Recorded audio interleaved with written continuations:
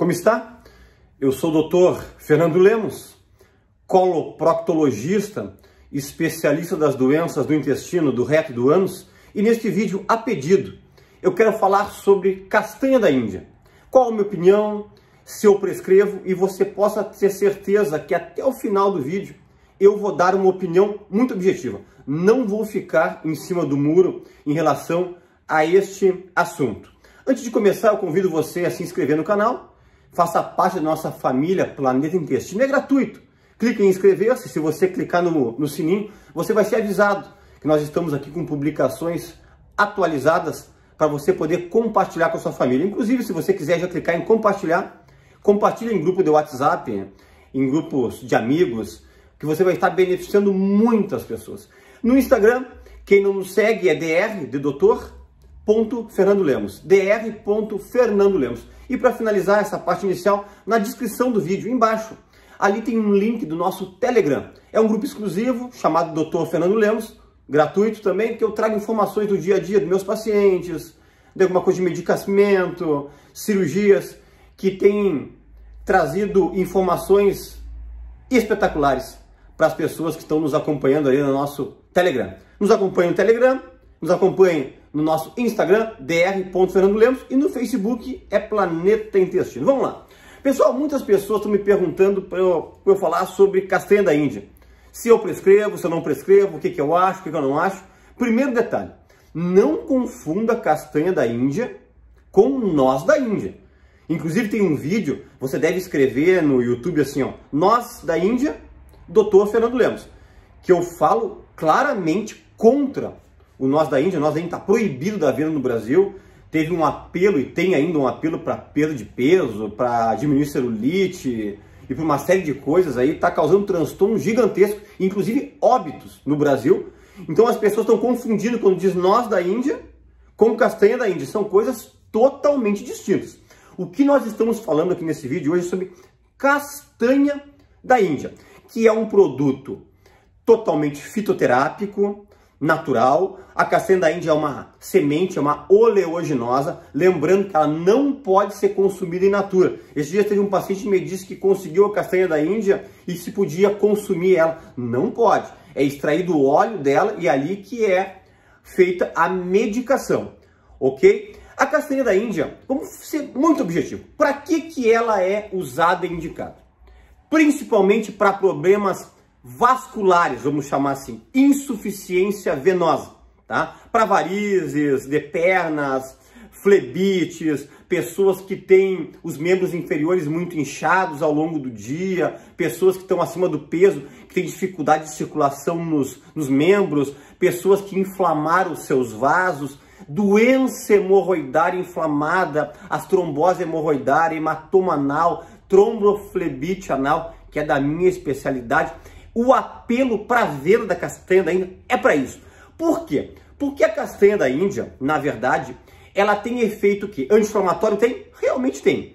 Ele tem efeito para vasoconstrição, quer dizer, ele diminui o calibre dos vasos e com isso ajuda o retorno venoso, porque na verdade o que acontece com as varizes? Que essas veias dilatadas, tortuosas, vistas a olho nu nos membros inferiores começa uma dificuldade do sangue retornar, porque existe umas válvulas que fazem esse sangue subindo e as válvulas vão fechando.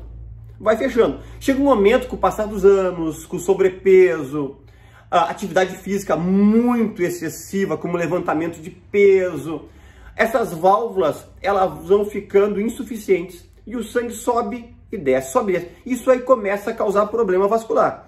E essa ação vasoconstritora, ação anti-inflamatória, ação adstringente da castanha da Índia, ela auxilia esse retorno venoso. É o mesmo pensamento quando inflama algum vaso hemorroidário, do canal anal ou da parte externa, que às vezes tem dificuldade de retornar o sangue, aí utiliza-se a castanha da Índia. Este é o apelo principal da castanha da Índia. Já estão falando que auxilia em perda de peso, auxilia nisso, naquilo, mas na verdade este fitoterápico, que eu já digo para vocês, é um dos fitoterápicos mais vendidos do Brasil. A indicação principal dele é hemorroidas, que estão inflamadas, e varizes, pessoas que têm pernas inchadas, edemaciadas. Como é o uso dele? E acalme, continue assistindo o vídeo que no final eu vou dar a minha opinião. O modo mais comum de uso é em forma de cápsulas.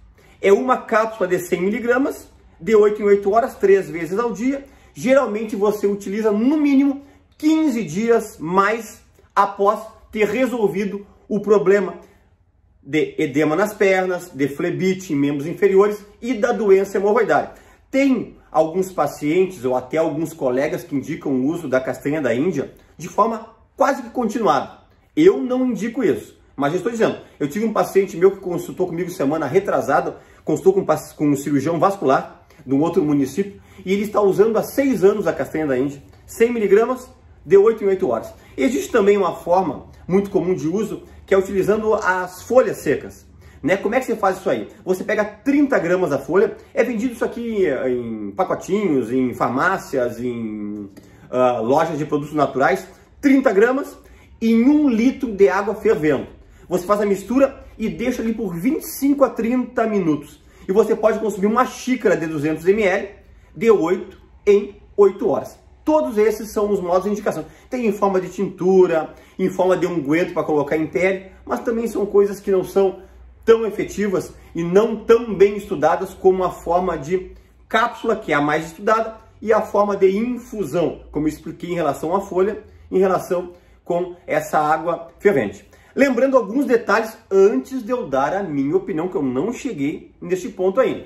Quem que tem que cuidar? Quem tem insuficiência renal, quem tem creatinina elevada, ureia elevada, problema de rins, quem tem só um rim, quem faz hemodiálise, quem está sempre tendo que cuidar o seu funcionamento dos rins no sangue, tem que cuidar, e pessoas com insuficiência hepática, que você vai ver dosar TGO, TGP, gama GT, que são as enzimas hepáticas, estão sempre elevadas, ou tem algum tipo de problema de cirrose, câncer de fígado, icterícia, esteatose hepática, que é a gordura no fígado de segundo para terceiro grau, que é uma gordura no fígado um pouco mais avançada, tem que cuidar o uso, tá? Outro detalhe, crianças abaixo de 12 anos, e alguns estudos falam de 16 anos para baixo, não devem usar castanha da Índia por causa do risco de toxicidade Outra coisa, se você consumir demais a castanha da Índia, ela pode causar sintomas de refluxo, tanto que pessoas que têm gastrite muito ativa, segundo para terceiro grau,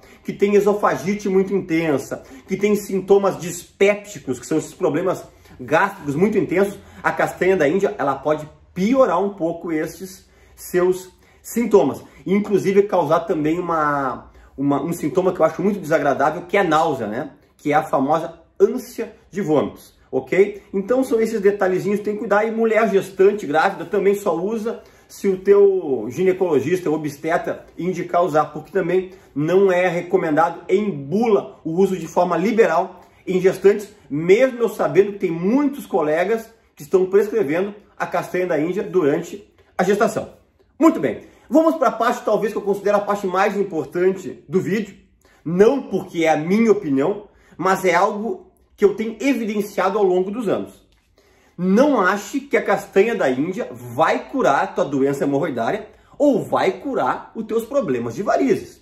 A castanha da Índia, pessoal, ela tem um efeito sintomático para sintomas. Por exemplo, é errado um paciente que chega com uma trombose hemorroidária não muito avançada, porque se for avançada, eu vou fazer uma drenagem e eu vou tirar o alívio do paciente quase instantaneamente com uma drenagem feita em consultório. Uma anestesia local, um pequeno pique, eu dreno e resolvo o problema. Mas aquele paciente que está com uma, um hematominha anal, uma trombosezinha pequena, dá para usar castanha de 8 em 8 horas por uns 10 dias, 15 dias, sem problema nenhum.